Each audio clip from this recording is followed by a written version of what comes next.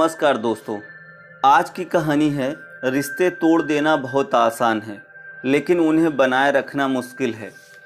किशन, मांगेराम और मिस्त्री, एक मिस्त्री की कहानी, जिसने दो लोगों के बिगड़े रिश्ते सुधारने के लिए उनके खेतों के बीच पुल बना दिया।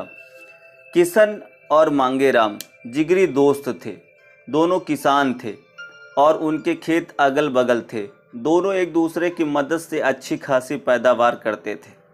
गाँव वालों से उनकी दोस्ती देखी नहीं जाती थी। वे हमेशा उनमें फूट डालने की कोशिश करते थे। उनकी कोशिश सफल हुई और दो दोस्तों के बीच फूट पड़ गई। अब दोनों के काम अटकने लगे।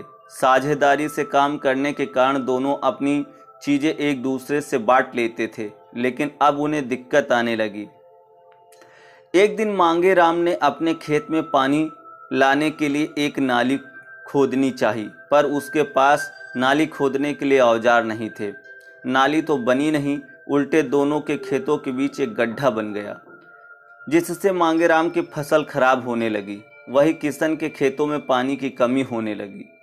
एक दिन एक मिस्त्री घूमता हुआ किशन के पास आया और काम मांगने लगा। किशन बोला वह जो गड्ढा सामने देख रहे हो, वो मेरे पड़ोसी की वजह से हुआ है। पहले हम दोनों दोस्त थे, पर अब प्रतिद्वंदी हैं। उसने मेरे खेतों को खराब करने के लिए सारा पानी अपने खेतों में भर लिया है और चाहता है कि मेरी फ़सल सूख जाए। तुम दोनों खेतों के बीच एक दीवार बना दो। तब तक मैं शहर से आता हूँ। शाम को खेत पर लौटते ही किशन की आँखें फटी की फटी रह गईं।